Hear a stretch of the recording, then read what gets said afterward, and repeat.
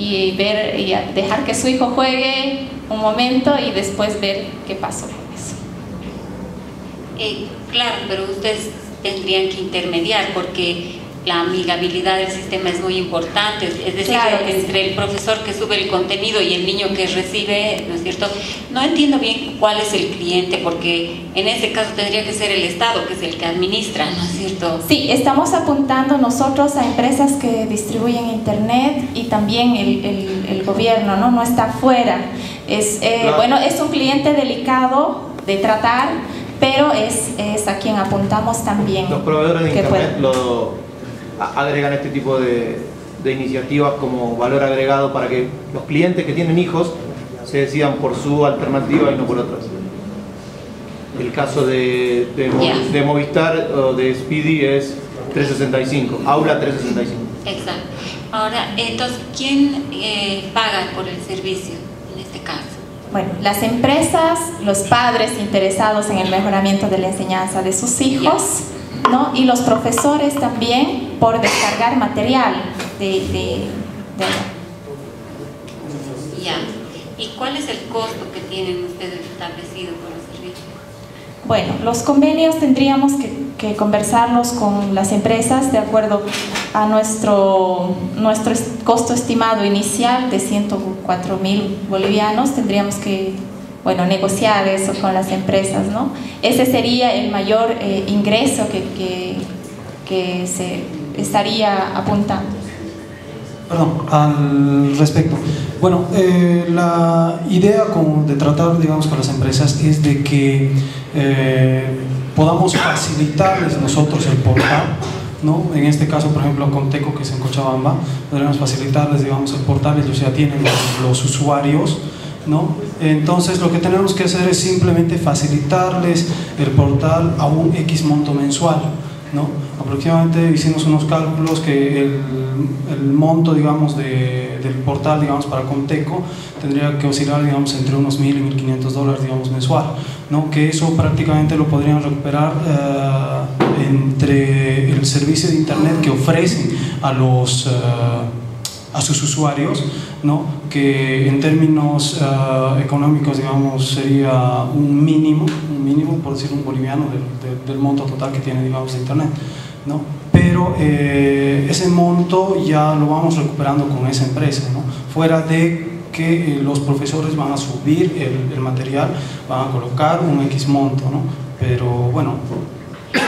¿Han podido desarrollar ustedes algún sistema de, de ensayo ¿no? Un piloto, o sea, una experiencia piloto. ¿Puedo mostrar?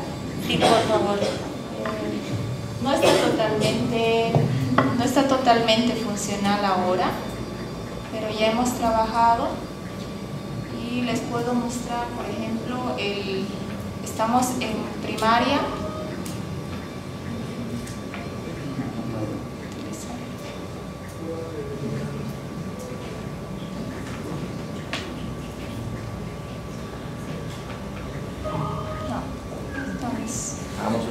no estamos. tiempo. No, no está funcionando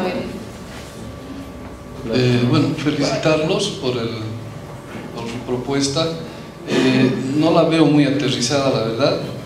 Eh, tal vez el tema educativo es muy amplio, lo que, lo que están queriendo abarcar, realmente muy grande, es un proyecto donde además intervienen muchísimos actores eh, y como han dicho ustedes, tema gobierno también es un tema muy delicado, eh, con todas las reformas que quiere implementar, pero eh, si ustedes pueden plantear algo con un, con un mercado más segmentado, podría ser interesante llegar a niños, por ejemplo, a adolescentes y jóvenes, por ejemplo, con el tema de educación financiera.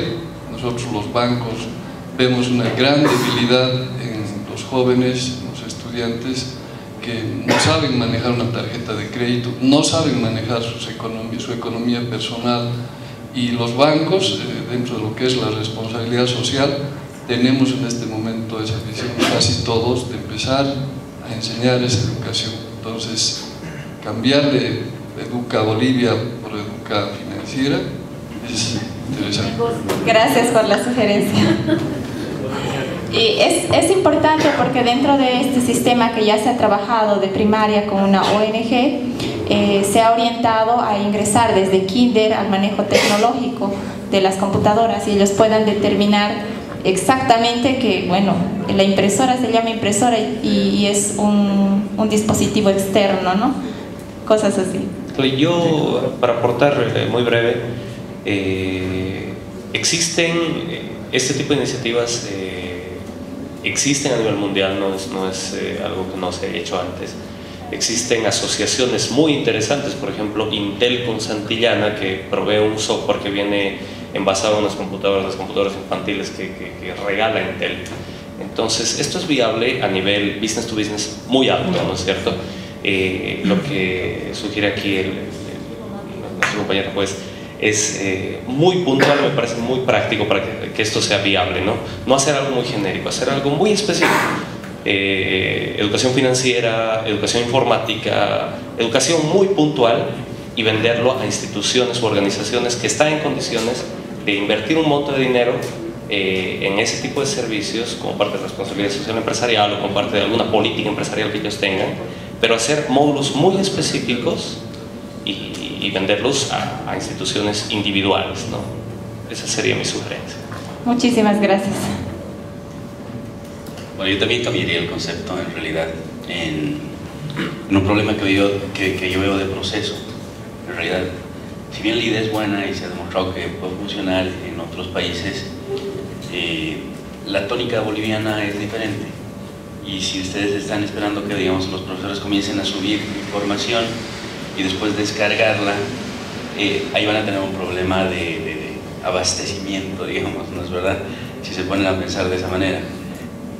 Pues tú decías de que se les ha dado computadoras. Yo creo que se tendría que cambiar la visión más a que se les enseñe a los niños, que se les enseñe a ellos a subir y a compartir contenido.